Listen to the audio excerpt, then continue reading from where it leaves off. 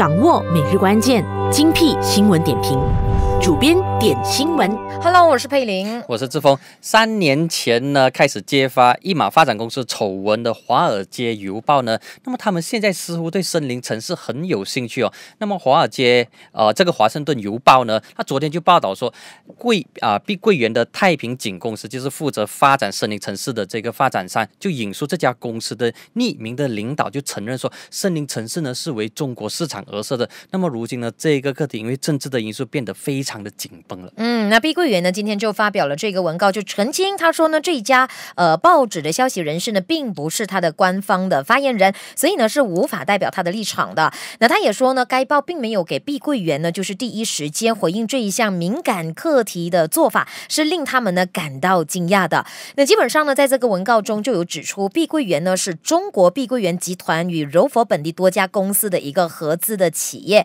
那中国碧桂园的集团呢，也是相。香港的上市公司。好了，森林城市的发展呢，因为敦马的这个反对，成为舆论以及各方的这个焦点，让碧桂园、让啊联邦中央政府、柔佛州政府以及柔佛的王室成为了这个大家关注的焦点。那么敦马反对森林城市呢，他的这个立场跟态度呢，始终如一，从大选前到现在呢，都开足他的这个机关枪，火力全开，对准森林城市来开炮。首先是提到七十万中国人来马将会获得公民权啊，然后以及。卖地给外国人的这个东西，那么现在他赢得政权之后呢，他就把他的这个当初的这个不满跟以及反对化成了行动。那么先说森林城市不能够卖给外国人，后来呢就发现哎好像是不对劲，就出现了右转，说只要不要卖超过给七十万名这个外国人的话就可以。换言之是中国人是可以买。那么后来又说哎可以买，但是你不能够住。所以敦马的立场在这一个过程上反反复复，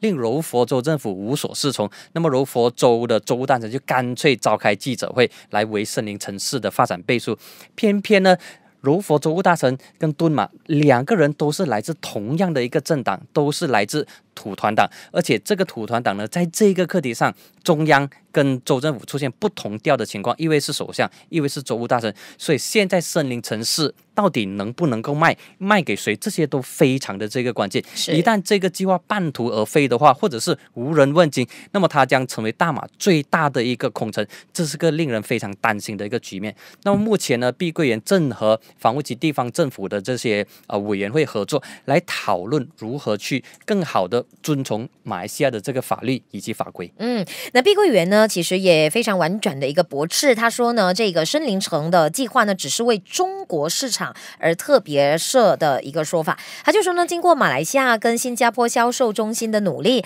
那森林城的这个马新的买家现在呢，也已经明显的增加了。他说这个计划呢，其实也锁定了其他的区域目标，当中就包括了香港、澳门、台湾、新加坡、印尼、泰国以及日本等等。那他说目前前呢，这个客源是十分多元的，有来自将近呢三。三十个国家，碧桂园也澄清，他说呢，这家报纸呢在文章中提到，就是新的开幕的这个国际学校呢，就是沙特圣玛丽学校，可以容纳一千名学生，但是这一个人数实际上呢，其实是三到五年内的目标。好了，森林城市的发展规模是非常大，要建四个呃人造岛，在这个过程当中，其实从它填海建岛到引进中国的劳工，然后到这个建材呢，一直以来都都有不同的这个争议存在。那么最大的争议就是马来西亚人，特别是我们能不能够从这个这么庞大的计划中受惠？如果受惠的话呢，是受什么样的这个惠？所以大马的民众会一直不断坚持的会问这一道问题，直到取到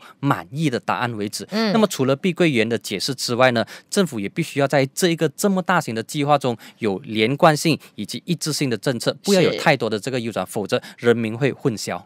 想要知道更多关于森林城市的一些后续发展，邀请你继续锁定，让你每次收听都有收获的 City Plus。谢谢蓝主编。明天同样时间，我们一起听懂更多，